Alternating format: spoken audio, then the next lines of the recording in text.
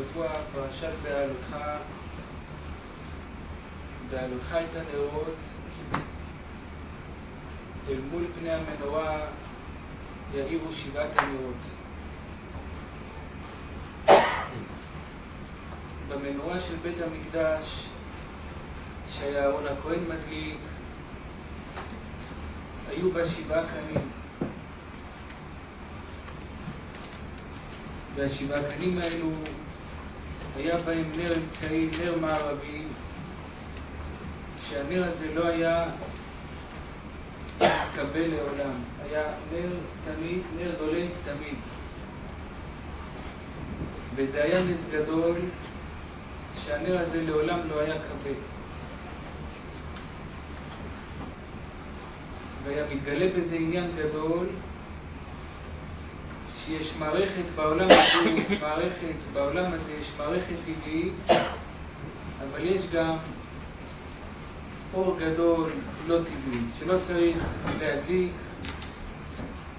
יש טבעי ויש לא טבעי.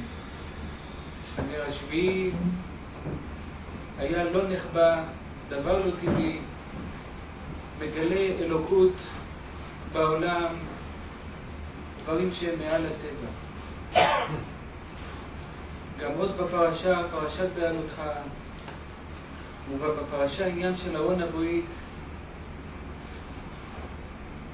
שארון הברית,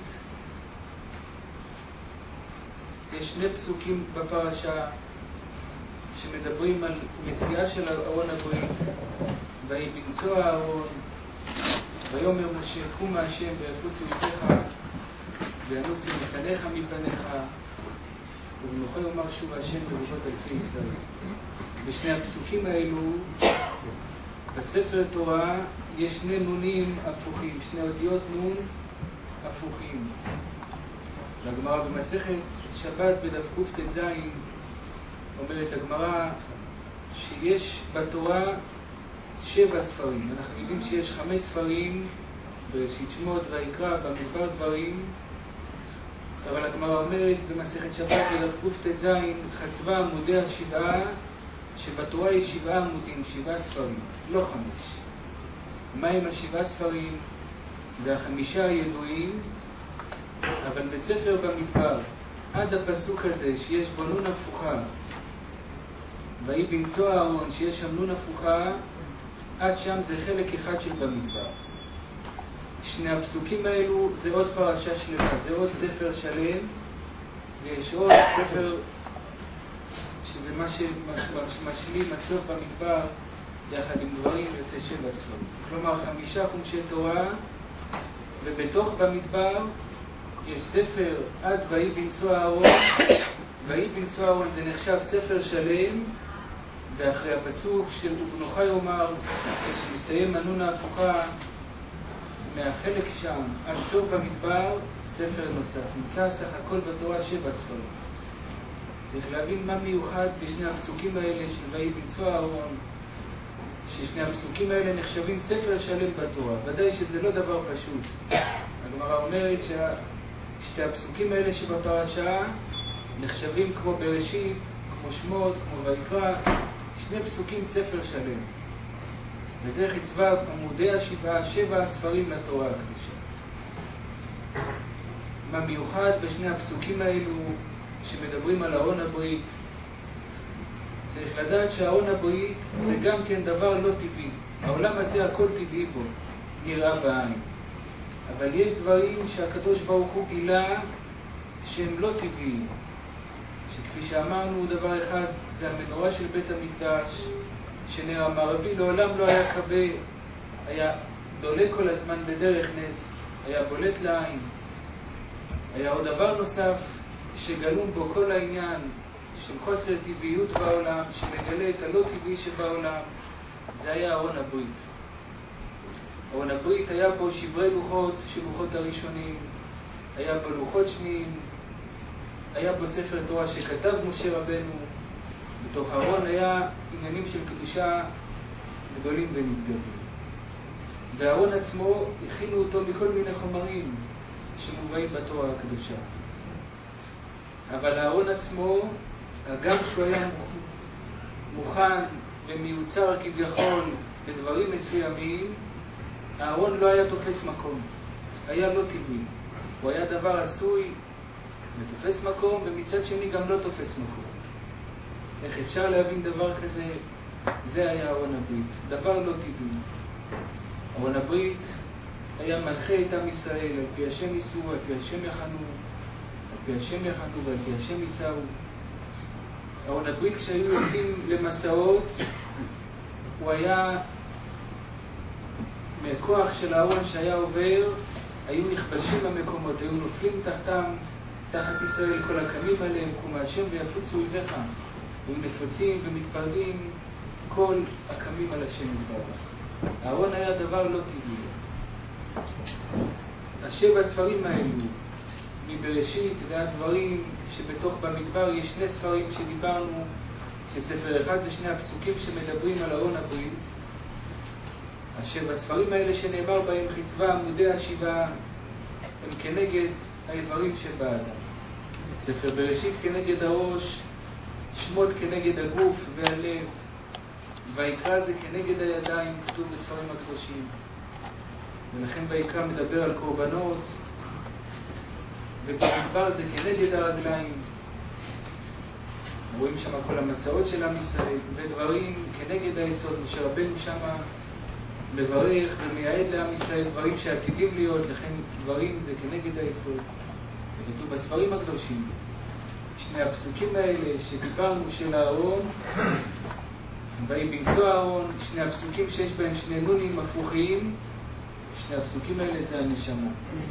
הנשמה של כל הגוף, שהתורה מרמזת על כל הגוף ועל כל הקומה של עם ישראל, יש חלק שהוא נשמה, שזה הפסוקים בפרשה שמדברים על ארון הברית. הנשמה זה דבר לא טבעי. נשמה זה דבר לא טבעי. ארון הברית זה דבר לא טבעי. המנורה, הנר המערבי, דבר לא טבעי. וכל הדברים האלה הלא טבעיים שמשתלבים עם הטבעי ונראים לעין, זה גילוי גדול של הקדוש ברוך הוא, שנדבר בו אם ירצה השם היום מעט. צריך לדעת, היום אין לנו לא ארון הברית,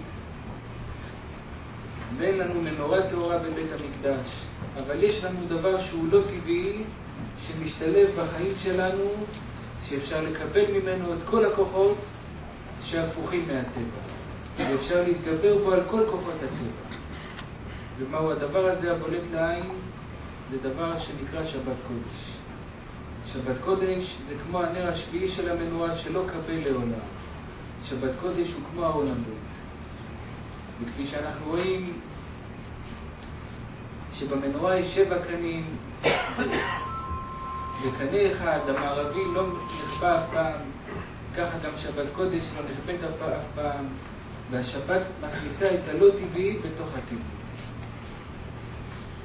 וכשנכנס לא טבעי בטבעי, אז הכוח של השם יתברך אין לו גבול ואין לו שיעור. אי אפשר לדבר בכלל מהו הלא טבעי כשמדברים על השם יתברך. אין גבול ואין שיעור. ומעל לכל תפיסה ולכל רעיון. וכל זה יש בשבת קודש. בשבת אדם שיש לו הדרך לקבל ולהעיר על עצמו מאור של, של שבת קודש, האדם יש לו כוח לשנות את כל הטבע, כמו ארון הברית, כמו המנורה, כמו כל הדברים הקדושים והטהורים שדיברנו. איך אדם יכול להשתלב עם השבת קודש בבחינה הזו הגבוהה של להעיר את ה... להכניס את העל-טבעי בתוך הטבעיות של השבוע, הדרך היא אחת. על שבת קודש נאמר שיש בשבת 40 מלאכות, חסר אחת שאסור לעשות בשבת.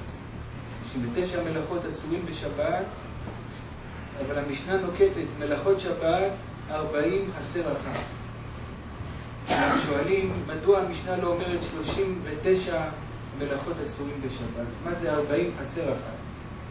ובספרים קדושים, ש-40 חסר אחת בא להגיד שהסיבה שיש בכלל עניין לא לעשות דברים שאסורים בהלכה בשבת, למה? בגלל שבשבת אדם צריך להרגיש הרגשה אחת. אדם צריך להרגיש בשבת שלא חסר לו כלום. להרגיש שהוא לא טבעי. אדם שהוא טבעי, יש לו חסרונות. בטבע יש הרבה חסרונות. יש חיסרון בריאות, יש חיסרון פרנסה, יש חיסרון כוח, יש חיסרון בינה. בט... בטבע יש חסרונות רבים. אבל מתי שאדם, ביום שבת קודש, מתחיל להרגיש בהרגשה הפשוטה, לא טבעי, אז יש לו את הכוח לצאת מהמערכת הטבעית ולהתקרב ולהיצמד ולהתבטל בקדוש ברוך הוא. זה כוח שיש אותו יום אחד בשבוע, יום שבת קודש. והדרך לעשות את זה במילים פשוטות, שאדם בשבת קודש יחיה וירגיש שלא חסר לו כלום. כל החסרונות באים מהטבע. הטבע, יש בו הרבה חסרונות. הטבע הוא מציאות. אי אפשר לומר שהטבע זה דמיון. הטבע זה מציאות, שבטבע, במציאות הזו של הטבע, יש חסרונות גדולים וקשים. אבל מתי שמגיע יום שבת קודש, אדם יחיה בדעתו, בנפשו, כמה שיכול, כאילו לא חסר לו כלום, כאילו הוא לא טבעי. מי שהוא לא טבעי, לא חסר לו כלום. אפילו שזה לא נכון, חסר לאדם הרבה דברים, אבל מכוח זה שאדם יבטל את הטבעיות שלו וישלול מעצמו הרגשה של חוסר בשבת, פתאום יכול להעיר עליו אור של שבת כל כך גדול, שיותר הוא לא יצטרך. התבטלו ממנו כל החסרונות. זה מה שכתוב על שבת קודש, יכולה יותר אחים. אז אם כן, כל מה שיש דברים שאסורים בשבת, זה, בשבת צריכים לצאת מהמערכת הטבעית, בטבעי חסר, בלא טבעי לא חסר. כל הטבעי שחסר בו זה מציאות, אי אפשר להגיד שבאמת פתאום הגיע שבת לא חסר כלום. אבל אם אדם מצליח להתנתק מהטבע ובשבת קודש הוא חי את הלא טבעי, יש בזה כוח שיתבטל כל החסרונות וגם כזה אדם מתחיל לצאת מהמערכת הטבעית ואז כל החיים שלו יכולים להשתנות לטובה ולברכה. כתוב בספרים שאפילו מי שיש לו צער גדול, שעשה איזה עבירה גדולה, ואדם מרגיש את הצער בימי השבוע. חלק מהעידור בשמירת שבת קודש, שבשבת אפילו לא יכאב לו ולא ירגיש חוסר מחמת עבירה שעשה. כי אם אדם מרגיש שעשה עבירה ויש לו צער, אז הוא נמצא עוד במערכת הטבעית. בשבת צריך שאדם ישלול בדעת שלו, בנפש שלו, שום מחסור. כי מתי שיש נדבקים לרוחניות, למערכת לא טבעית, אין במערכת לא טבעית מחסורים. הכל שלם שם. בימי השבוע מותר לאדם להתמודד עם הבעיות שלו, מותר לאדם להתמודד עם הקשיים שלו, צריך לפתור את הקשיים שלו. אבל בשבת קודש עומק הרעיון של איסורים לעשות מלאכות בשבת, כי אם אתה עושה מלאכה סימן שחסר לך. אם חסר לך אתה טבעי. אם לא חסר לך אתה לא טבעי. איך אדם יכול יותר להידבק לדברים, אדם בשבת קודש צריך להרגיש הרגשה שהוא נכלל ומתבטל באלוקות. נכלל ומתבטל באלוקות, שזה לא דבר פשוט. אדם יכול בשבת קודש להתחיל רגע אחד בכזה מחשבה, ולאט לאט להוסיף בזה עוד ועוד. אפילו בשבת קודש אסור להתפלל על חולה. למה? אם אתה מתפלל על חולה, אפילו חולה אנוש, אם אתה מתפלל על חולה, אז אתה נדבק לחסר. חסר זה טבעי. בשבת לא מתפללים על חולה כי בש... ואסור, אומרת הגמרא, שבת היא מלזעוק, אסור בשבת להתפלל על חולה. אסור לאדם בשבת להזכיר את המחסור שלו. כי שבת, אמנם בן אדם הוא טבעי, אפשר לשנות את האדם, האדם זה מציאות טבעית, אבל בשבת נדרש מהאדם להיצמד ללא טבעי. אתה נצמד ללא טבעי, נכלל באלוקות כביכול, לא חסר כלום. כשאתה קשור לאלוקות, ואתה חי את ההרגשה שיש בך אלוקות, אם יש בך אלוקות לא חסר לך כלום. אם אתה לא מרגיש כך, לא יאיר עליך שבת. כל מה שנאסר מלאכה בשבת, כדי שאדם לא ייצמד לטבעיות בשבת.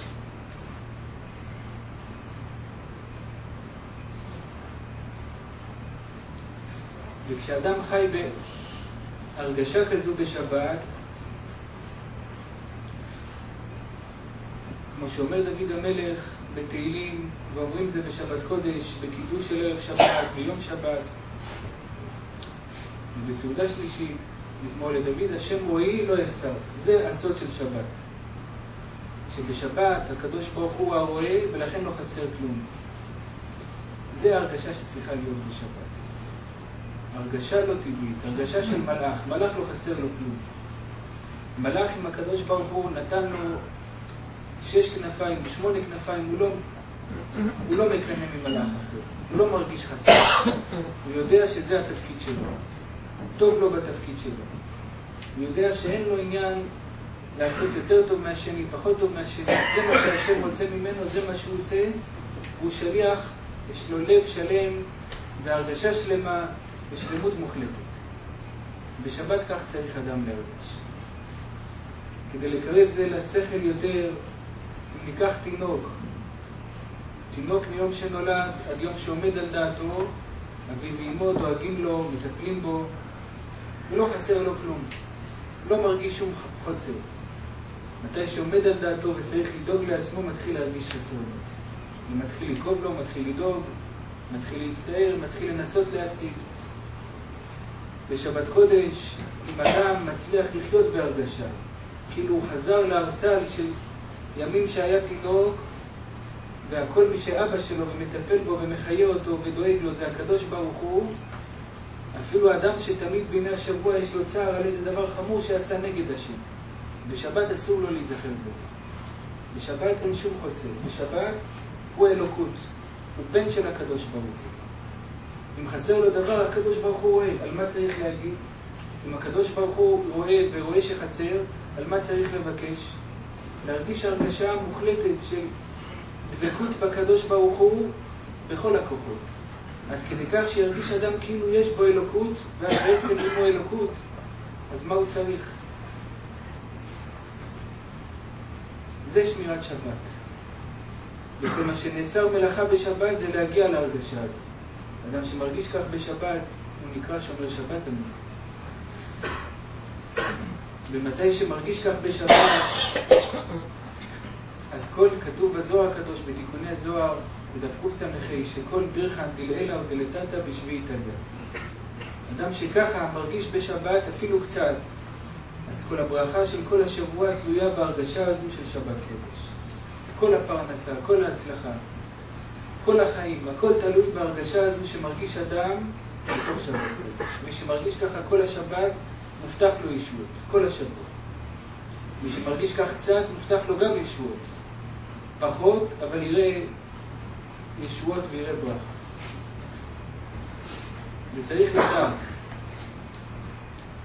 שבעצם אדם, הקדוש ברוך הוא נתן לכל אחד ואחד פרנסה גדולה. לכל אחד ואחד הקדוש ברוך הוא נתן שפע גדול. ולכל אחד הקדוש ברוך הוא נתן בת זוג. ולכל אחד יש לו יכולת לקבל כל מה שרק הרחב פיך ועמלו. כל מה שרוצה אדם בגשמיות וברוחניות. הכל יכול אדם להשיג. ולא רק שיכול להשיג, יש דברים, אפילו חפצים, ששייכים לו ומחכים לו. ורוצים כבר להיכנס לבעלותו.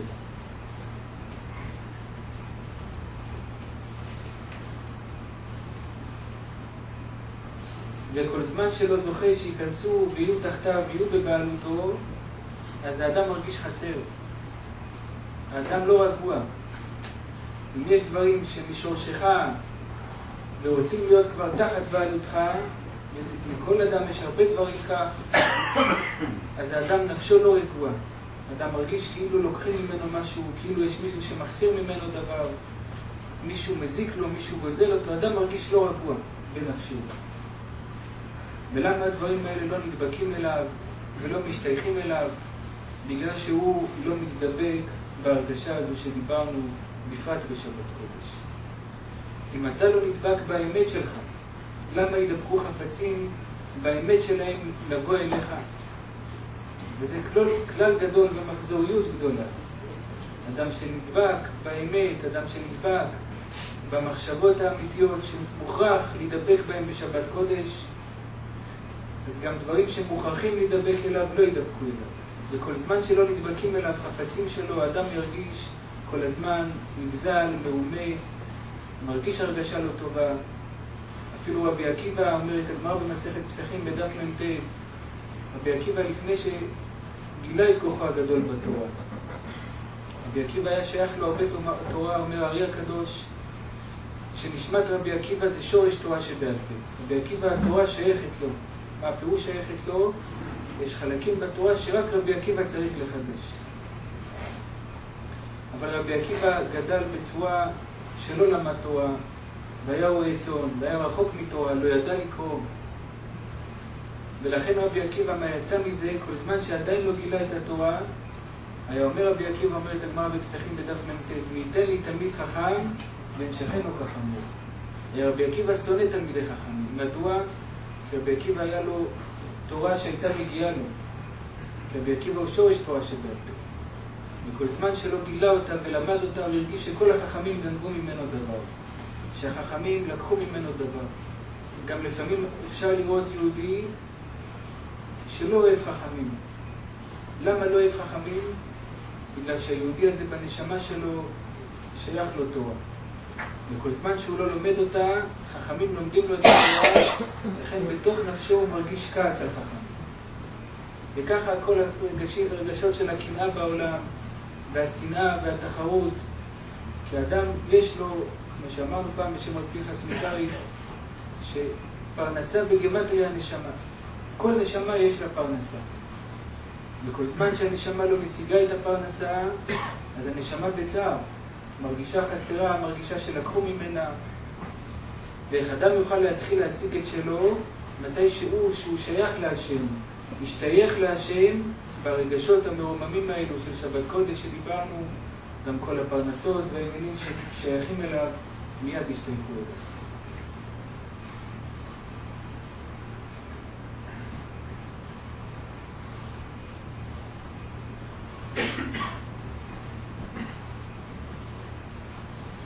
כשאהרון הכהן היה מדליק את המנורה,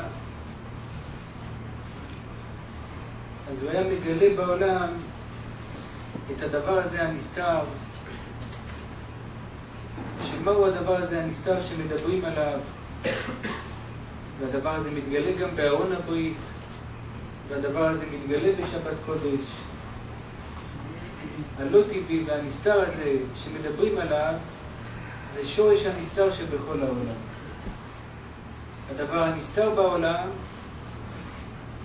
זה עצם המילה עולם, שם שנקרא עולם בשם עולם, מה זה המילה עולם? זה מלשון נעלם, מלשון נסתר. מה נעלם בעולם הזה?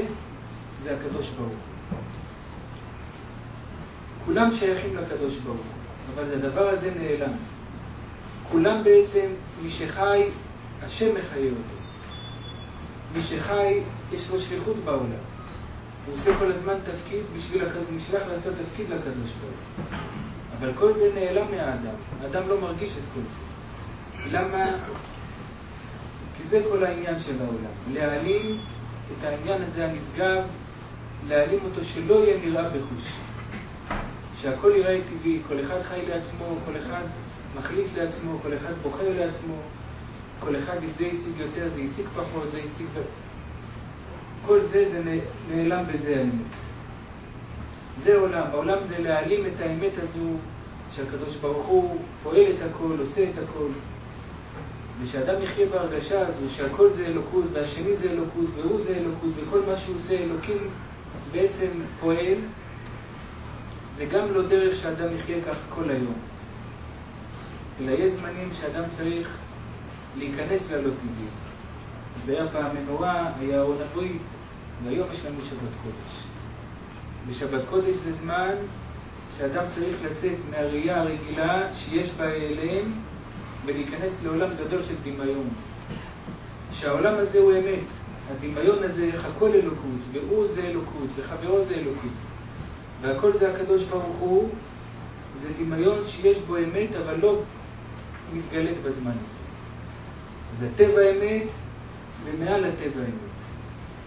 ויש זמנים לחיות מעל הטבע כמו שבת קודש, וכשאדם חי מעל הטבע בשבת קודש, זה יעזור לו לכל ימי השבוע, לכל העניינים.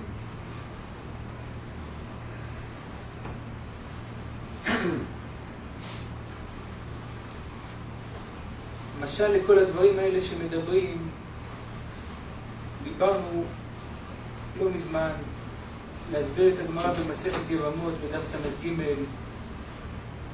שהגמרא אומרת, אמר רבי אלעזר, מסביר הפסוק, לא טוב להיות האדם לבדו, ואעשה לו עזר כנגדו. שרבי אלעזר אמר שם בגמרא, אם זוכה אדם, אשתו נעשית לו עזר. אם לא זוכה אדם, אשתו נעשית כנגדו. שואלים מפרשים, אם הקדוש ברוך הוא רוצה לצייר אדם, להעניש אדם, לא חסר דרכים להעניש אדם. הרבה דברים יכולים להיות נגדו, אבל למה אשתו, שאנחנו יודעים מהתורה שאישה של אדם נלקחה מצלעו, בשר מבשרו. אז למה דבר שזה חלק ממנו גם כן יהיה נגדו? והסיבה שאשתו של אדם לפעמים היא נגדו, הרי אנחנו יודעים בתורה בבראשית, אנחנו רואים שכל העניין של האישה שלוקחה מהצלע של האדם, למה היא לא מרגישה שהיא חלק ממנו? הסיבה שאישה לא מרגישה זה כי ידוע שמתי שהקדוש ברוך הוא הוציא את חווה מהאדם, ניסר את חווה מהאדם, אז הקדוש ברוך הוא הפיל תרדמה על אדם הראשון. וכשאדם היה ישן, אז הקדוש ברוך הוא ניסר ממנו את חווה. ולכן, אחרי ההתעוררות של אדם, חווה בזמן שנמסרה ממנו לא הרגישה, בגלל לא הרגישה שנמסרה מהאדם. היא הרגישה את הניסור שלה שהיה מאדם בגלל שבזמן הנסירה אדם היה ישן. ולכן היה כביכול בטל. ולכן הזיכרון הזה חלש והזיכרון הזה לא תופס שהרי חווה זה אם כל חי וחווה היו בכלל חווה כל הנשות העולם. ובכלל אדם היה כל אנשי, אנשי העולם וכשנמצאה חווה מאדם בעצם נמצאו כל הנשים לכל אחד ואחד, מכל בני זוגם אבל מחמת שהיה שינה, כשאדם היה ישן, אז כל הנשים שבעולם לא מרגישות ההרגשה הזו חזקה שהם חיים מאדם, שהם חיים מבעליהם. ההרגשה הזו, קוראים עליה בתורה, יודעים אנשים, אבל לא קשה להם לחיות באווירה הזו. לדעת שזה משל לכל המציאות שלנו כאן בעולם. כל העולם הזה זה כמו חווה. שמתי שהקדוש ברוך הוא עורר את העולם הזה. העולם הזה לא הרגיש איך הוא כביכול חלק מהקדוש ברוך הוא. כמו שחווה לא מרגישה חלק מהאדם, העולם לא, מר... לא מרגיש בכלליות, יש הלם להבין איך העולם הזה כולו חלק מאלוקות שכל רגע אלוקות מחיה אותו.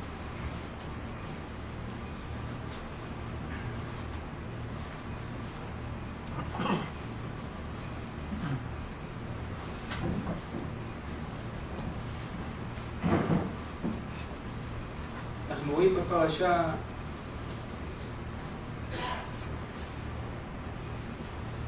והאספסוף התאהבות אהבה. אספסוף, היו אוכלים, כל יוצאי מצרים היו אוכלים מן, שהמן היה מאכל רוחני וקדוש וטהור, מאכל של מלאכי השרת.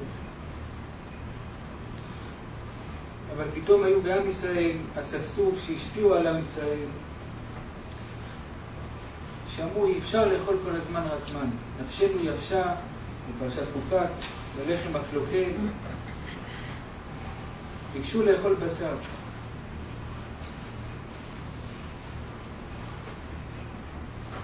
ומשה רבנו, אחרי ששמע את הבקשה שעם ישראל רוצים בשר, ובעזרת השם, בשבת קודש בפרשה יראו שמשה רבנו לא יכל לסבול את הבקשה הזאת. משה שסבל כל העניינים של עם ישראל. אבל כשביקשו בשר, משה רבנו ביקש מהקדוש ברוך הוא, ואם ככה תעשה לי, הרגני נאור. מבקש משה למות, וצועק ואומר לעם ישראל, מאין לי בשר? מאיפה אני אביא לכם בשר? וצריך להבין מה משה אומר להם, מאין לי בשר? וכי מישהו חשב שמשה יש לו בשר, ששומר בשר, שיש לו איזה דרך להביא להם בשר. הרי בוודאי שהתכוונו עם ישראל, אמרו למשה, רוצים בשר, תפנו לקדוש ברוך הוא. משה אומר, מאין לי בשר? ומיד מבקש משה רבנו, הרגני נהרוג, מבקש משה למות. מה הבקשה כל כך חמורה שביקשו בשר? צריך לדעת כלל גדול שמובא בזוהר הקדוש. שלפעמים מבקשים מצדיק דבר, אבל צדיק לא יכול להתפלל ולבקש מהקדוש ברוך הוא את מה שמבקשים ממנו, אם גם הוא לא רוצה קצת, משהו ממה שמבקשים. זאת אומרת, הצדיק צריך, כשמבקש בשביל אדם, צריך גם הוא שיהיה לו שייכות לבקשה הזאת. צריך שגם הוא ירצה. ידוע שלכן האבות היו עקרים הרבה שנים, אז הקדוש אומר, למה היו האבות עקרים? כדי לפתוח פתח של להתפלל על עצמם, להיפקד, ואז יוכלו כל העקרים, בני ישראל שיהיו עקרים, יוכלו להתפלל ולבקש בפתח שפתחו האבות. כלומר, הם צריכים להתפלל בשביל עצמם, כדי. לבנות בזה דרך, כדי שיוכלו האחרים להשתמש בדרך הזאת. כלומר, אדם שלא רוצה דבר, או אדם שמבקש על חברו דבר שאין לו שום שייכות אליו, אז הבקשה של הצדיק לא יכולה להתקבל. ולכן מוצאים הרבה חולי אצל צדיקים, כדי שיוכלו להתפלל על אחרים לבריאות. גם היה צדיק גדול מאוד, שכשהגיעה שעתו להיפטר מהעולם, הוא חלה במחלה קשה מאוד, שהייתה הראשון בעולם שחלה בה, זה היה הצדיק הזה. ולמה אמר להם הצדיק? בגלל שבאים אליו שהתפלל על כל מיני סוגים של מחלות, אז הוא לא יכל להתפלל כבר על כל סוגי המחלות, אז לא יכלו המחלות לחול עליו. הגיע שעתו למות, היה צריך להמציא בשבילו מחלה חדשה. צריך לדעת, אדם לפעמים לא יודע, אבל לפעמים אדם יש לו כוח בתפילה. יש אדם שהוא בעל תפילה. לא כל מי שחושב שהתפילה שלו לא חשובה, באמת התפילה שלו לא חשובה.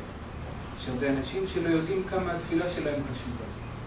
לכן הקדוש ברוך הוא מעמיס עליהם עומס גדול, שמתי שמתפללים על עצמם, בעצם התפילה עוזרת גם לאחרים. לכן יש להם חוסר, כי רק כשיש חוסר ואדם מבקש בשביל חוסר, שגם הוא מבקש, רק אז התפילה יכולה להתקבל. משה רבנו שהיה אדם מופרש, מרומם, שתאוות העולם בכלל לא דיברו אליו שום דבר, כמו שאמרנו שאדם צריך להרגיש בשבת, משה רבנו הרגיש כל ימי השבוע, הוא הרגיש כל מצב שהוא היה, הוא היה שמח בו, כי הוא הרגיש שהוא ממש שלו חלק מאיתו יתברך. כמו הרגשה שאמרנו שצריכים להרגיש מעט בשבת, משה הרגיש תמיד. ולכן משה היה מרומם מכל תאווה של אדם. ועכשיו היה מצב מיוחד שעם ישראל מבקשים בשר. ומשה אין בו שום תאוות של אכילה וכדומה. אבל עם ישראל מבקשים. כדי שמשה יוכל לספק את מה שמבקשים, חייב להיות שמשה גם כן יצטרך לרדת ולרצות לאכול בשר. ומשה לא רצה לרדת למצב כזה של תאוות של אכילה ותאוות אנושיות, ולכן ביקש למות. וזה מה שאמר לעם ישראל, מאין לי בשר. מה זה מאין לי? הרי ברור שהתכוונו שיבקש מהשם. אבל אמר להם משה, מאין לי רצון לרצות בשר. אם הייתי רוצה בשר, יכול לבקש מהשם בשר. אבל עכשיו שלא רוצה בשר, מאיפה אני יכול להביא לכם בשר? כדי שאדם יוכל להתפלל על דבר בשביל חברו, הוא חייב להיות, גם הוא רוצה קצת את הדבר. אם משה שלא רוצה בכלל בשר, איך יכול להביא להם בשר? ולכן מבקש משה רבנו למות. ואם כן, הרגני נהרוג. ומה הקדוש ברוך הוא עונה לו? הקדוש ברוך הוא עונה לו אמת. לך ותאסוף שבעים זקנים ושבעים שוטרים, וינוח עליהם רוח השם, והם יבקשו בשביל עם ישראל בשר. כלומר, משה רבנו, בגלל שהוא מרומם, בגלל שהוא צדיק, בגלל שאין בו תאוות, לא יכול משה רבנו לבקש בשר בשביל עם ישראל. צריך להביא 70 זקנים אחרים שהם יתפללו לבקש דבר שלא שייך אצל משה. צריך לדעת, אנחנו רואים גם בפרשה עניין שמרים, ותדבר מרים ואהרון במשה. מרים, אחות משה, דיברה על משה לשון הרע. מסבירים בספרים מה היה לשון הרע שדיברה מרים על משה, התורה אומרת על אודות האישה הכושית אשר לקח. עם ישראל הצטוו בהרבה איסורים של עריות, איסורים של אישות, עם ישראל הצטוו. וכשהאיסורים האלו חלו על עם ישראל, עם ישראל התחילו לבכות, ויבכו למשפחותם כתוב בפרשה. הם בחרו על עסקי משפחה, שזה אסור וזה אסור, אז עם ישראל בחרו. מיד מהלכה מרים ודיברה לשון הרע על משה, מה טמון בלשון הרע שמרים מדברת על משה, על אודות האישה הכושית אשר לקח. מרים טענה, משה רבנו בגלל שהוא מרומם מאוד, והוא צדיק גדול, אז משה רבנו פרש מאשתו, לא היה לו עניין עם אשתו. ובגלל שלא היה לו שום עניין עם אשתו, הוא לא יכל להשפיע על עם ישראל, להתנהג בקדושה, כי הוא היה מופרש מכל העניין של אישות. ולכן אמרה מרים שבגלל זה עם ישראל לא מקבלים את הגזרות של הקדוש ברוך הוא על ענייני אישות בשמחה, ולכן הם בוכים. אם משה היה, היה לו עניין של אישות, היה משפיע בענייני אישות קדושה לעם ישראל, היה משפיע דרך טובה בעם ישראל בעניין. אבל בגלל שמשה בכלל מופרש מהעניין הזה, זה גורם שעם ישראל לא יהיה בהם הגבלה בעניין הזה, ולכן עם ישראל בכו כשקיבלו את הגזירות האלה. ואנחנו רואים כאן שצדיק, כדי לעזור, כדי להשפיע, צריך להיות שיהיה לו שייכות עם העניין, צריך שיהיה לו קשר עם העניין. צדיק יכול להשפיע בריאות מתי שהוא מתפלל על הרפואה, וגם הוא צריך רפואה. צדיק יכול להתפלל על פרנסה, מתי שהצדיק גם הוא זקוק לפרנסה בשביל התורה שמחזיק, בשביל העניינים שמחזיק. אבל צדיק לא יוכל להתפלל על בריאות לאדם ולפעול בשבילו בריאות מתי שהוא בריא מושלם. צדיק לא יוכל להתפלל על פרנסה על אדם שמבקש פרנסה מתי שהצדיק יש לו פרנסה. צדיק, כדי שהתפילה שלו תתקבל, הוא צריך להיות חסר קצת מהדברים. וזה צריך לדעת בעניין הזה של צדיקים שמתפללים כדי שתפילה תוכל להתקבל. וזה לא רק בצדיקים, זה כל אדם, בכל משפחה, שהוא זה שהולך בדרך השם ומדבק את המשפחה לדרך השם. כל ראש משפחה צריך לדעת דבר. כתוב בפסוק בדברים, וזאת הברכה אשר ברך משה איש האלוקים את בני ישראל. ואפשר לומר בפירוש הפסוק הזה שמשה רבנו לפני שנפטר, משה רבנו לפני שנפטר, בירך ברכה גדולה את עם ישראל. בירך משה רבנו, וזאת הברכה שברך משה, איש האלוקים את בני ישראל לפני מותו. משה רבנו בירך שיהיה בכל דור ודור איש אלוקים את בני ישראל. איש אלוקים שיהיה קשור לעם ישראל בשביל לעזור לעם ישראל. זאת הברכה שברך משה איש האלוקים, דרך שיהיה איש אלוקים את בני ישראל. איש אלוקים שיחבר וידאג לעם ישראל. זה מה שמשה רבנו התפלל וביקש לפני מותו. מה זה איש האלוקים את בני ישראל? שיש אלוקים שיעזור לבני ישראל. איך יעזור איש האלוקים לבני ישראל? איש אלוקים יכול לעזור לבני ישראל בשני דרכים. דרך אחת, מתי שהוא רואה דבר לא טוב בעם ישראל, מיד הוא יתחזק בדיוק הפוך מהדבר. כמו שראינו בצדיק נוח, שכתוב בנוח מצא חן בעיני השם, מסבירים בספרים קדושים, שנוח חשב מה צריך, נוח רצה להיות צדיק. חשב במה יהיה צדיק, מה הדרך היום להיות צדיק בזמן נוח, אז הוא חשב ומצא שיש בעולם הרבה חן של טומאה. ולכן בנוח מה מצא חן? מה עשה? הביא את זה לקדוש ברוך הוא. הלך ונהיה צדיק וגדל את עצמו בכל עניינים של קדושה ופרישות. זה דרך אחת של צדיק. לחפש מה הכי לא טוב בדור, מה הכי פרוץ בדור, ולהתקדש בדיוק בדבר ההפוך. זה דרך אחת של צדיקים.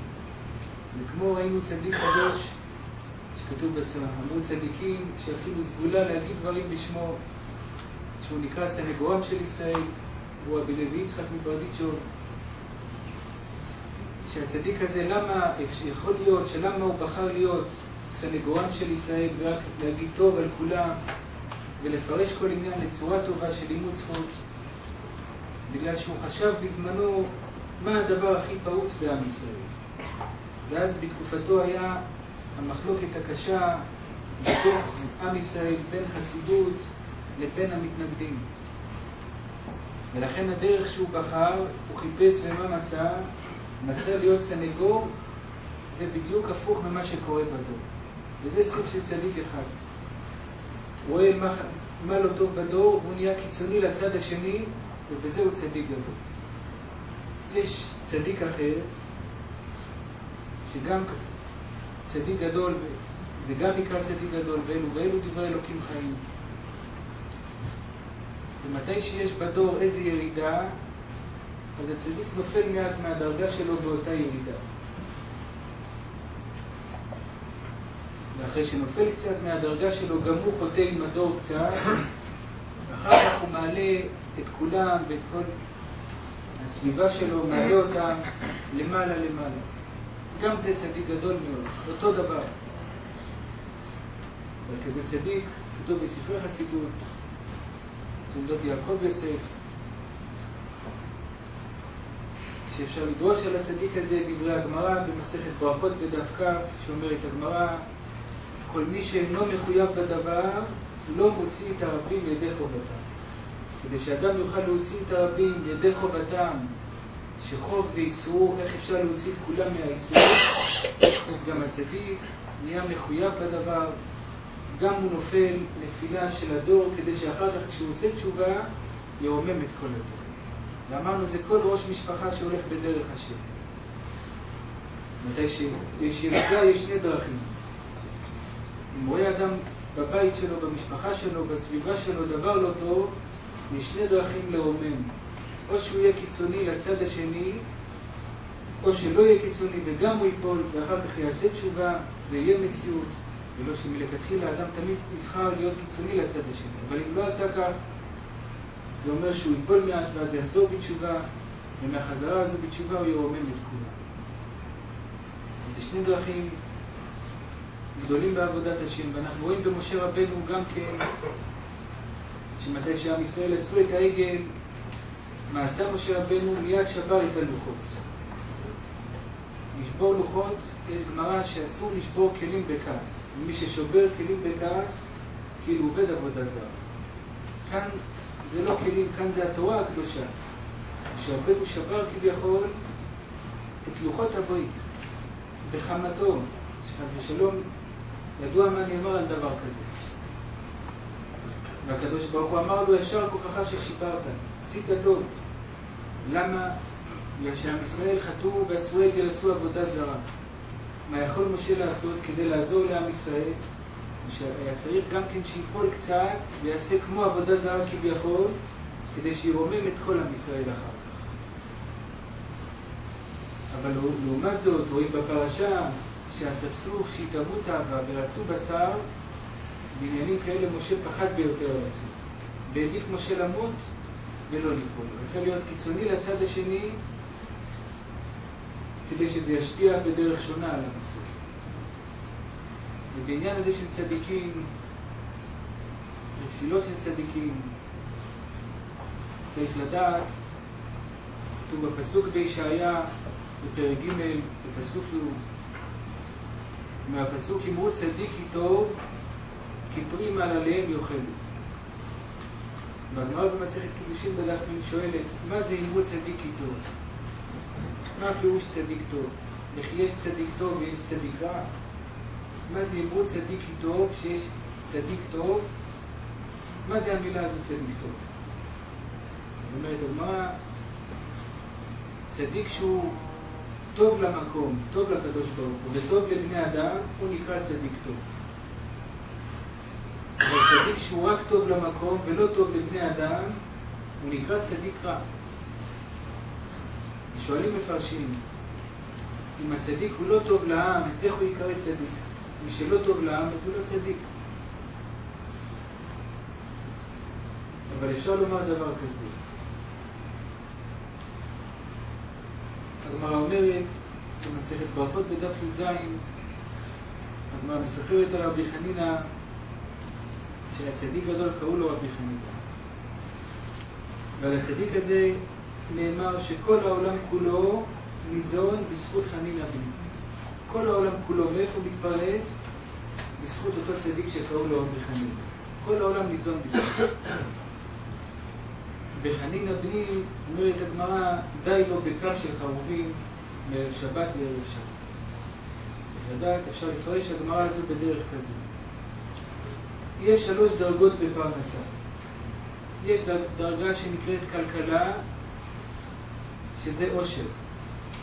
ויש דרגה שנקראת פרנסה, שזה דרגה בינונית. ויש דרגה שנקראת מזון, לזון, שזה רק קיום, דרגה נמוכה מאוד בפרנסה.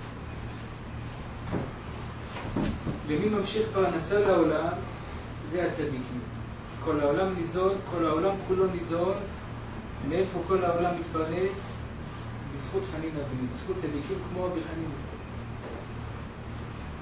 אבל מה לעשות שיש צדיקים כמו רבי חנינא שדי להם בכף של חרובים, ומכיוון שהם מסתפקים לעצמם במעט מאוד, לכן כל העולם כולו רק ניזון ולא מתקלקל ולא מתפרנס. כשיש צדיק שהוא רק מתפרנס בדרגה של ניזון, זה הדרגה הנמוכה בפרנסה, אז השביל שהוא יוצר לעולם זה שביל של פרנסה נמוכה מאוד. אבל אם רבי חנינא בן דוסה היה עושה, מחזיק תורה, מחזיק עניינים של קדושה, והיה מבקש יותר מהקדוש ברוך הוא, גם היה יורד לכל העולם כולו דרגה שנקראת כלכלה או דרגה שנקראת פרנסה. אנחנו רואים מכאן, אם הוא צדיק איתו, שיש צדיק טוב מישהו שהוא טוב למקום וגם טוב לבריות. למה אם הוא צדיק איתו, למה ללכת לצדיק שהוא טוב? כי פרי מעלליהם מיוחדים. לפי המעללים של הצדיק, איך שהוא חי ומה שהוא דורש מהקדוש ברוך הוא, ככה כל המסתופפים בצילו, זה מה שימשיך להם הצדיק שפע בכזה דבר. אז איזה צדיק הוא טוב, אם הוא צדיק איתו, זה צדיק שהוא טוב לבריות, כמו שאומרת הגמרא בקידושין בדף מ', שהוא טוב לבריות וטוב למקום וטוב לבריות. איך יכול להיות צדיק טוב לבריות? על ידי זה שהצדיק יש לו הרבה עניינים של כלכלה שהוא צריך בשביל עניינים שלו, שזה פרי מעלליו בעניינים שלו, של קדושה שעושה, של תורה שעושה, של ישיבות שעושה. וצדיק יכול להשפיע גם לכל קהל עדתו פרנסה בשפע עצום. ברצון שהקדוש ברוך הוא ישלח רפואה שלמה למורנו ורבנו, עטר ראשנו, הצדיק שלנו, שימשיך להשפיע בעזרת השם יתברך לכל הכלל, ובפרט לעיר הזו, לאנשים היקרים, שפע, ברכה, בהצלחה, ורצון שנזכה לביאת משיח צדקנו במלוא בימינו.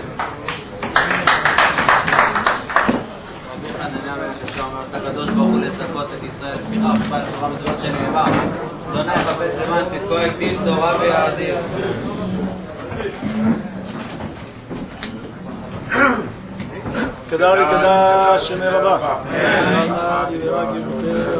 נא דברה גבותי ורחמותי וצחק ותראה בשכם. ברכה יכול ולכל חייל יכול בית ישראל והקלה בזמן קריב אמן.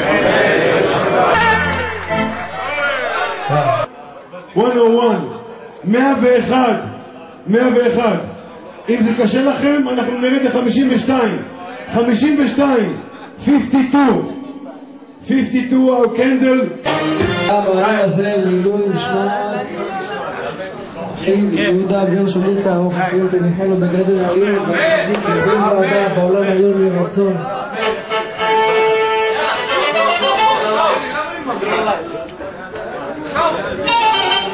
אדם רוצה לשיר? פליז. האנשים האחרונים שנמצאים פה, תעזרו לנו. כן, צדקת. כמה? 101. 101, אישה צדקת 101, השם בכבוד בכלל.